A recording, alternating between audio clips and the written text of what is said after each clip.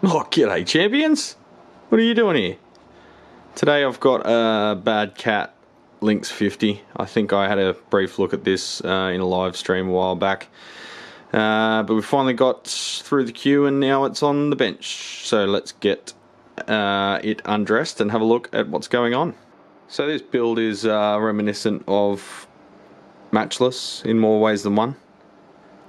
Or will be evident once I open it up, but it's got a nice front panel there with CNC engraved um, laminate as the, the control panel. So that's a a black layer on top of a white layer and when they when they engrave it the white layer gets exposed and that's never going to wear off. So that's a good choice for a control panel. Got their signature glowy symbol here which is all very very pretty at night. Now I've already removed the rear cover. You can see we've got two EL34s there in uh, Lyle's favourite valve retention mechanism two sort of almost like cap cans clamped on the base of the valve so they've got to be undone before you can remove the valves. It's got your IEC with an inbuilt fuse holder, on off standby, HT fuse is just the standard screw in type. You've got a foot switch socket there, full full power, half power, we'll um, see what uh, that is controlling, whether it's triode, pentode or or something else, different voltage levels. I'd say, I dare say to be triode, pentode. One, two, I guess that's the channel switch on the rear panel. Speakers and an impedance selector and effects loop. Now I can see in here there's evidence of insect feces, which is always fun. That's a uh, poplar plywood cabinet. It's a fair bit lighter and softer than uh, birch. And in the front there, beyond the valves, you can see the uh, light up LEDs on a separate circuit board there for the the fancy logo on the front panel. So just having a quick look before we take it out of the cabinet. Uh, all the valves got vacuum. The getter flash is still in place. Uh, this is clearly the, the same chassis as you'd use for a 100 watt version but look how close they would be together like the valves would be almost rattling against each other that's not far enough apart for heat dissipation either. You'd like to see at least a, I don't know, three quarters of an inch or something between them. I'd prefer like an inch, but yeah, says your mum. Um, that's uh, for the rectifier, which is a bit of a long story. I'll get to that shortly, but this is a solid state rectified amplifier but it's got a rectifier socket so I'm not sure if maybe that's an option and they've made it so you can revert the circuitry to to have a rectifier valve. Um, we'll get into that in a moment, but anyway, we'll pull this out and have a look. It's got our favourite number 3 Phillips screws with a cup washer and a washer underneath, which any self-respecting tech knows you should use the correct screwdriver for, not a number 2, and ream the head out. Yet it keeps happening. The easiest and safest way to do this is just flip the cab upside down and get the screws out from underneath so the chassis doesn't drop when the screws come out. Alright, so here's the cab. Um, they've just used like 50 mil wide. Ooh, something sticky there. I think spilt drink. Ugh. Gross. Um, 50 mil wide aluminium tape. It's uh, got a bit chewed up there from probably previous servicing. Servicing. Problem with these is when you put the screws in, often a little biscuit of um, foil comes off and falls inside the amp. I see that all the time in Fender Hot Rod series. There's a little little disc of foil sitting in the bottom of the chassis and just rolling around. Uh, see lots of cockroach poop. All that'll.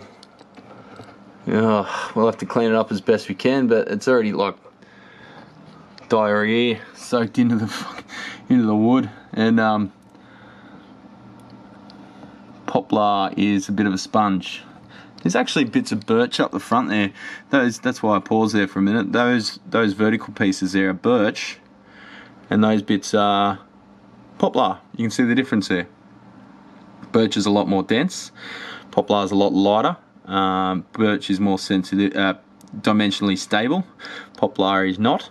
Um, poplar is a lot softer and easier to damage. Uh, there was an interesting discussion on side rant on uh, different timbers and the cabinet's uh, influence on them.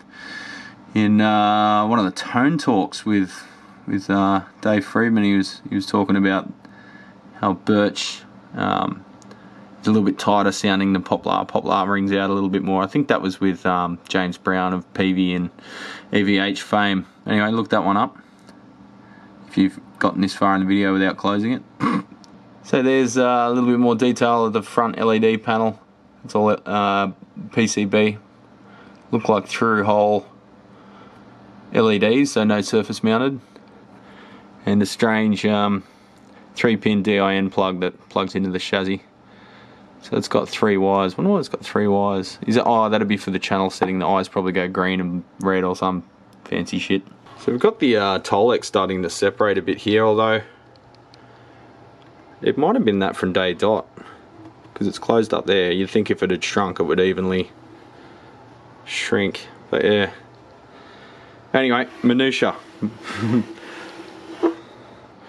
Alright, so here's the chassis out. Would you look at the size of that transformer? For a 50 watt, that is a monster. That's friggin' bigger than a 100 watt Marshall. Huh. Big chunky choke there. And just the average size output transformer. Sorry mate, you're just average.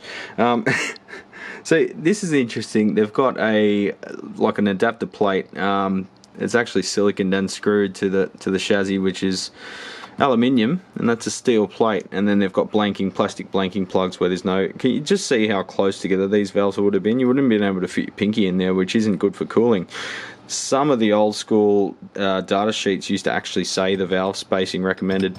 Oh they sound a bit rattly. Hmm. Uh, so yeah there's the rectifier socket. All of these are mounted like on grommets for a problem that solving a problem that doesn't really exist in a in a head cab, but anyway, didn't stop them from going rattly. Uh, even the preamps are mounted on little little grommies, and uh, like all rubber products, they will need replacing at some point, and uh, heat will exacerbate that. So, one thing I didn't mention, I meant to when uh, when I had it in still in head cab was when you're making a head. Wouldn't you think the logical thing to do would be have the chassis upright like this so the heat rises from the valves instead of rising up into the chassis and heating everything. Just doesn't seem to make a lot of sense. You have to do that with combos really because there's no easy way to have an upright cab in a combo. I mean people have tried it like DV Mark and made hideous looking amps um, and a few, a few other brands have tried it over the years and they always look terrible and they're just ridiculously large for what they are so it makes sense in a cab to have it inverted. Uh, sorry, a combo to have it inverted, but in a head cab, it would make sense pretty much always to have it upright. But anyway, it's just me ranting. So we're more arse than class. We've got arse. arse. Oh, I just, I really want to draw an E on the end of that. And we've got arse preamp valves throughout. Uh, curiously, they had no shielding. I don't know if someone's worked on it before and lost them, but uh, I've included that in the quote to just put shields back on them. They they always go missing. Every just about every amp that comes in here has got one or two missing, if not all of them. Um, so I keep stock on hand of just the replacement bayonet fitting, you know, belt and shields. Uh, they don't come by themselves. I think you've got to get them with that little surround, but you just throw the surround in the bin and whatever. There's the connector for the uh, LED front panel about one millimeter away from the transformer bracket but on the transformer brackets you can see here they've used big bolts big washers big thick brackets like that's like a probably two two point something mil bracket thickness wise and um, that ain't going nowhere. They know it's a big heavy transformer so they've, they've mounted it correctly. So top points for that. Same deal on the output transformer. They've got the large oversized washers there to distribute it distribute the load, um, but it's also like a looks like a 2.4 or 3 mil thick chassis as well, so that helps. Now those valves are shy of the top of the power transformer, but they're protruding past the output transformer, so I'll just pop a block on the bench so we can sit it upside down without damaging them, and we'll leave them in place for now. Alrighty, so remember what I said reminiscent about a uh, matchless? Well, in more ways than one. It's got the sort of tag tag board construction there as well as a bit of point and point mixed in. You've got that weird sort of semi-translucent um, Teflon, I think it's Teflon, uh, jacket on all the component leads. Just neither here nor there, like it's a good thing to do when you've got a construction like this just in case someone pokes around and uh, moves a component and it shorts out on something else. You've got a big bank of caps there going from tag strip to tag strip. You've got a DC supply up here which is powering uh, the relay boards for the switching, the various switching um, arrangements throughout the thing as you switch the channels. So they're just Omrons on little daughter boards there which are just off the shelfers um, you can get from anywhere, little prototyping boards. You've got some droppers mounted on the, uh, hang on, is that a dropper? What's the resistance? 1.2k, yes it's likely it is. It's not an attenuator. You got the screen resistors there, 1k each, 10 watt. You got the cathode resistors down there, 270 ohms each, 20 watt. 20 watt? 10 watt. It looked like a 2 for a second, but it's the same size as the others. Uh, so, first suspect, obviously, these caps. Now, talking to my colleagues all over the planet, um, the caps that have like two crimps in them, even though they're polarized, like normally you've just got a crimp on one edge. See those Spragues made in the US of A and the Samois next to them? They've just got a, a, like a crimp, or I don't know what you call it, a little ridge on it uh, on the positive side, and the negative side is just square. Whereas this one's got one on both sides. Now, I can't remember the brand of these, AJ, whatever that means, but apparently these all fail. And you can see how bulgy it is there. Now, these things look bulgy when they're new, but that looks bulgier than bulgy. So, that's my first place I'm going to look. So, just a quick glance at the 1-2 switch.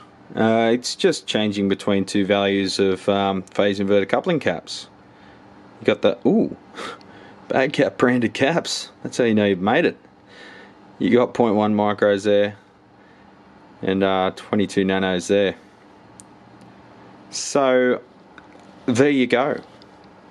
You've got Fart City or uh, Flavor Country. So here's the weird arrangement around the rectifier socket. Uh, you've got the voltage coming in on pin 3 and pin 5 which normally wouldn't be used as you can see on that blurry diagram. Thank you Panasonic. Uh, and then it goes through the series diodes there.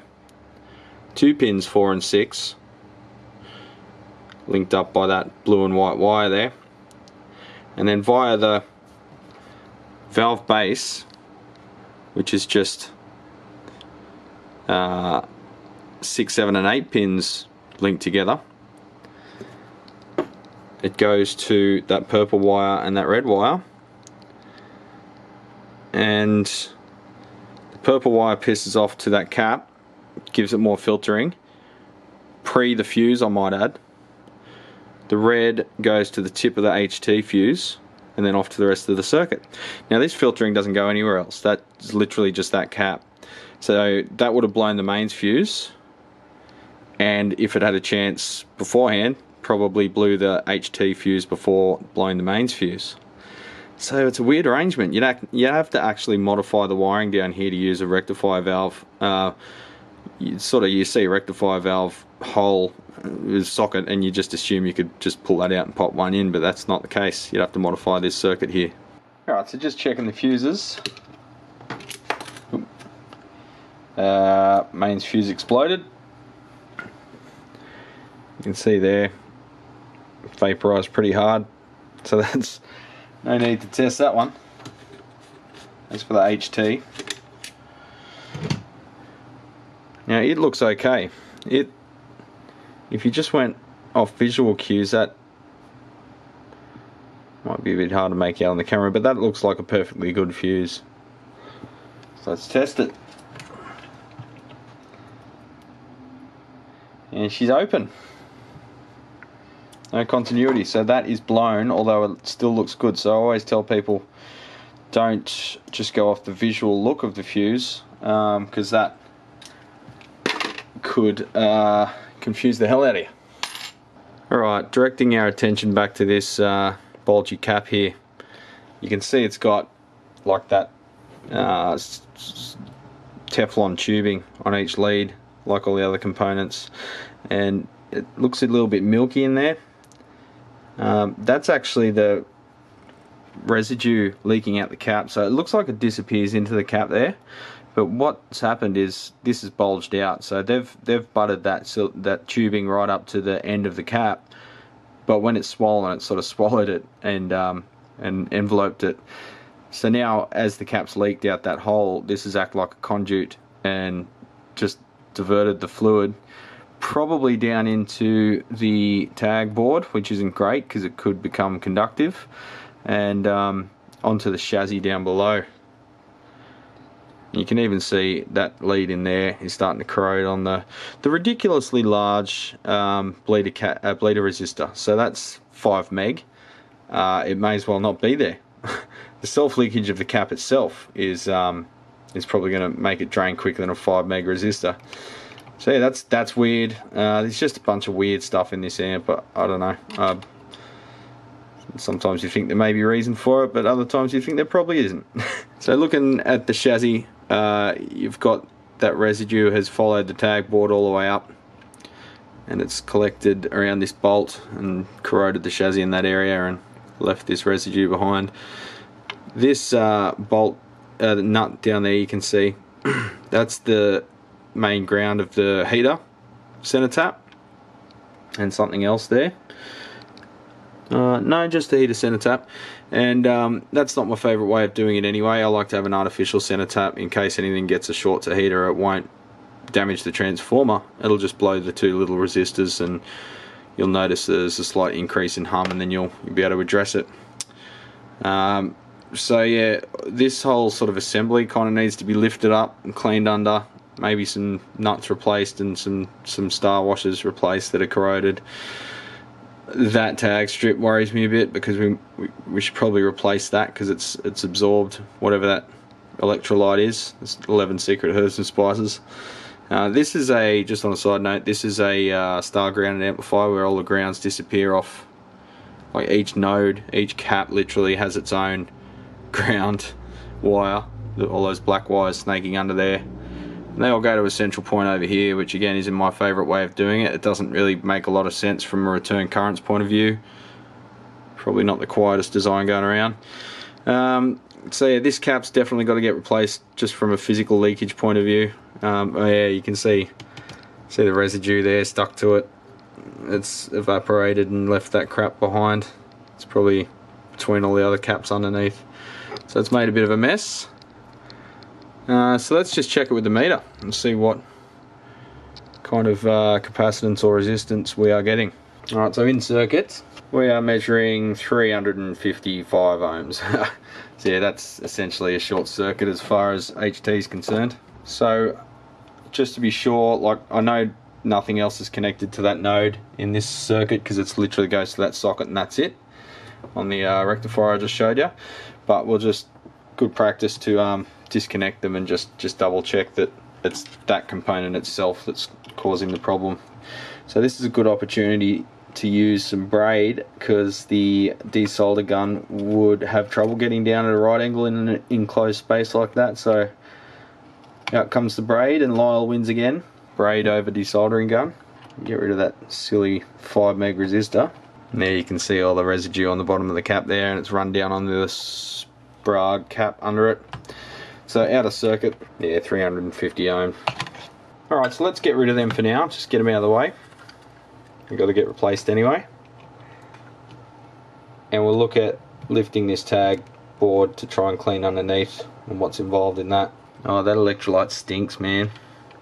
It's gone up into the wick now. You can, it's just this weird, sickly, sweet smell, like glycol, whatever it is. Smells a bit like burning antifreeze. Or coolant, as we call it over here. Alright, they go in the bin. Alright, before I go any further, I'm going to clean off whatever this gooey crap is because it keeps sticking to my arm hairs and it's grossing me out. Alright, doesn't appear to be water based. So we'll go the next solvent up the ladder. Shellite, otherwise known as naphtha, over there. You know where. Advanced hair. Yeah, yeah. And that's getting it. First go. Sweet. So naphtha doesn't really hurt anything. Oh, except for you if you set it on fire, but it, point being it won't dissolve any plastics. It's it's polite even on nitrocellulose, which is saying something because that that turns to cheese when you look at it. It's all over that back back lip as well, so I'll just clean it off there from when we turn the amp around. Alright, so I've disconnected the center tap for the heaters and we've kind of sort of got access to that screw. Now these are studs pressed into the chassis, so um, we can't just unscrew them from the outside and use like needle nose pliers, which is what we could do normally. Um, this gel stuff on the nuts, I'll show you in a minute. Um, that is not a Loctite. That's not a uh, anti-shake mechanism. That is just purely uh, tamper evidence. So it goes all manky when you undo it. Um, yeah, so that's that's the condition of the lock washer that's supposed to be a grounding point. Now you can see the rust on that tag strip and that's like the main grounding point so that's not fantastic. uh, everyone puts um, lock nuts on the actual uh, lock washers on the actual nut but the actual interface between the actual terminal and the actual I've got to stop using that word and the chassis there's nothing to really bite in. It's just flat face against flat face. So I'll get the other one. Just move those cap leads out of the way a little so we've got some access. And out she comes. Everything's stiff because it's pretty heavy gauge wire so I don't think we're going to really get much access down there without disconnecting some more stuff which is not fun Alright, so now that it's been lifted, we can see the horror underneath, and it's actually spread a bit further than I thought.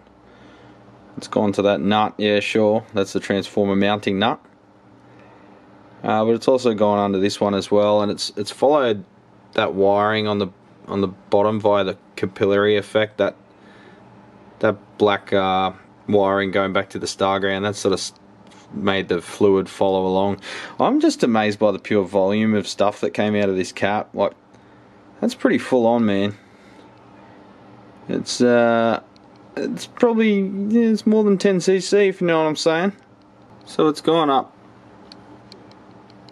here, and it's uh, there's still evidence of it down in there. You can see that brown stuff on the chassis. I've moved those black wires to to the right there and you can see the residue there. But none of these grounds here are connected to anything. They're purely mechanical. So I think we can leave them as is. Those two again they're just mechanical mechanical.